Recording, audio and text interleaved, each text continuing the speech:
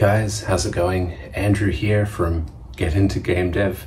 It's a little bit of a subdued day for me today. A, a day for introspection because I'm physically locked inside the house. I mean, here in Bangkok at the moment, the um, air quality is generating volumetric shadows, which is not great. And it's at the point where the vending machine downstairs has run out of coffee and it's just the weird sorts of novelty coffees like Mandarin Americano. It's fair to say I'm at a low point in my character arc.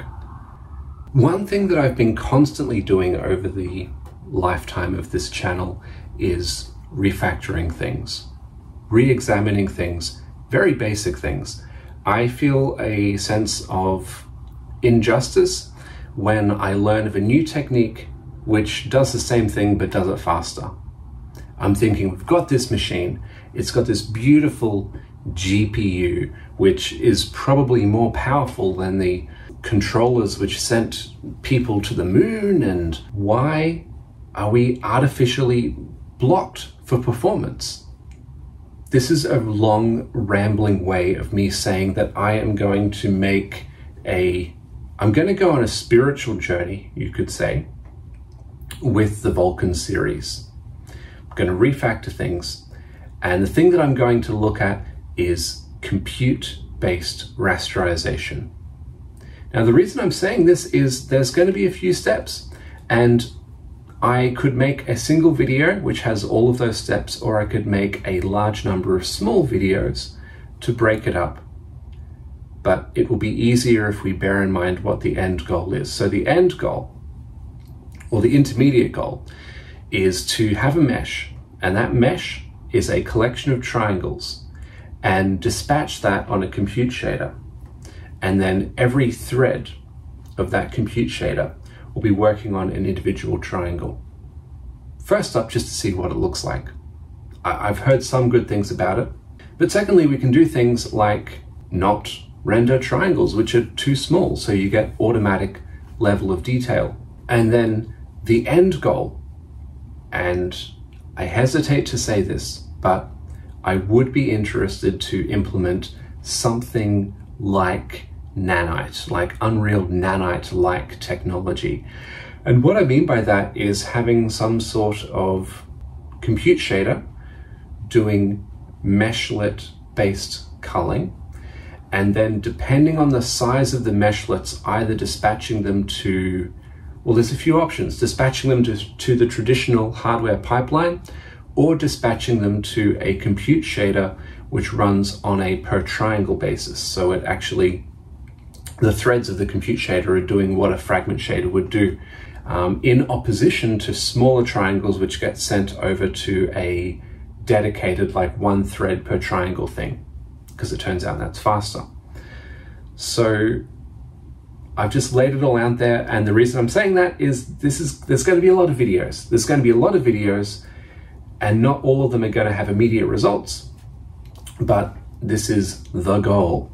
But I guess to give us something. So this isn't just me rambling and promising and promoting future videos. The fundamental concepts that I'm going to be laying out, at least over the next few videos, are descriptors. And the funny thing about descriptors in Vulkan is it feels like, okay, I understand them, I understand them, I'm working on them, and then suddenly there's a point where it's like, this is just one level of abstraction too much. So to address that upfront, I'm going to lay out more or less the full descriptor model. So we've got shaders and shaders need to see resources like buffers, images, uh, matrices, whatever.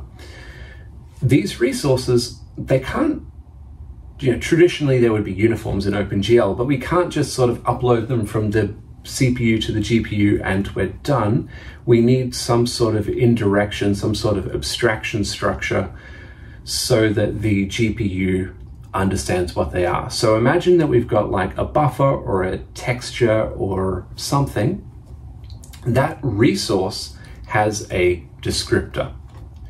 And what I've found is that on my graphics card, when I was doing OpenGL stuff, I would run into a limitation on the number of uniforms that I could bind, the number of bind points that I could use. And this is just a hardware limitation.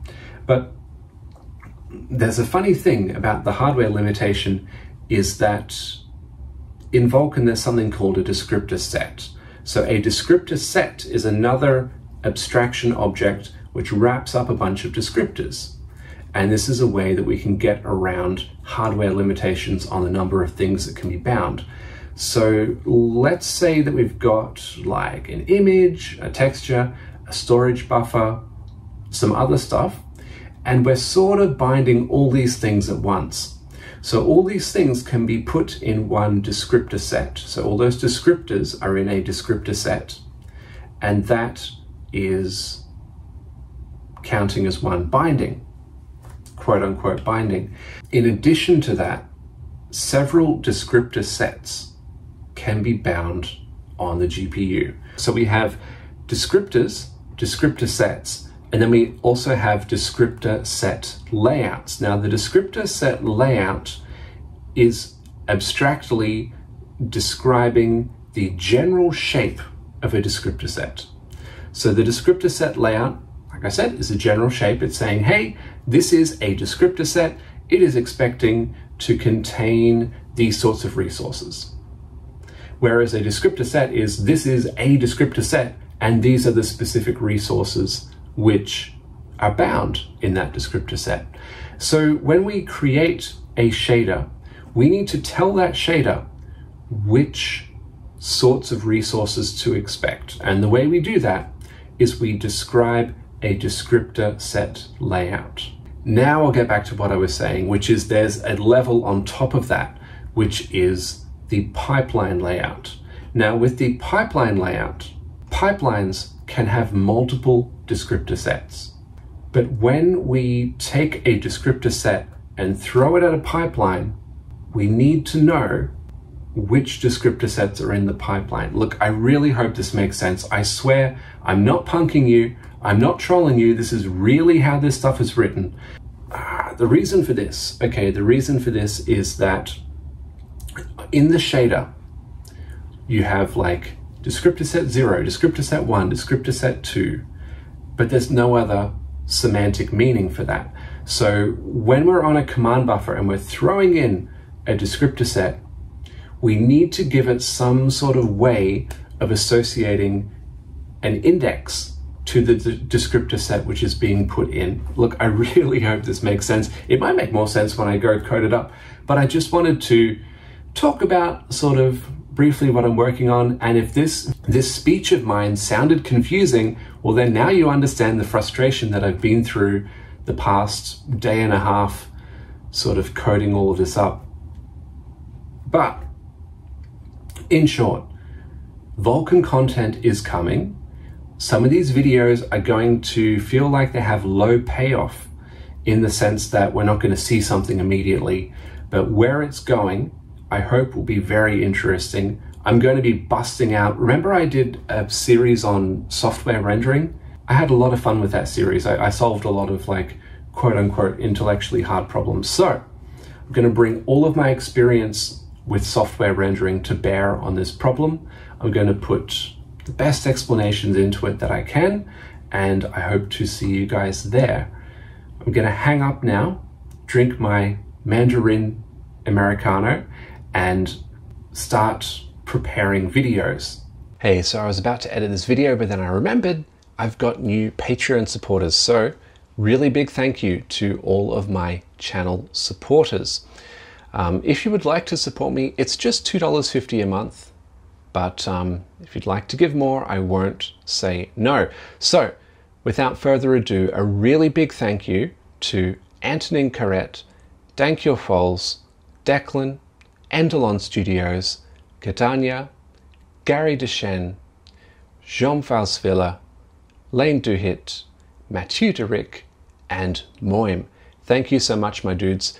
Making high quality videos takes time, and I guess it takes even less time when I go on random tangents and deep dives, but thank you so much. It really does mean a lot. I know I just complained about a Mandarin Americano, but having that little extra bit to uh, buy coffee, it really does make a difference. Looking so tired at the moment. Ah, okay. But thank you, really, truly. Um, it means a lot. Um, I hope things are going well. And yeah, have a good one. Bye.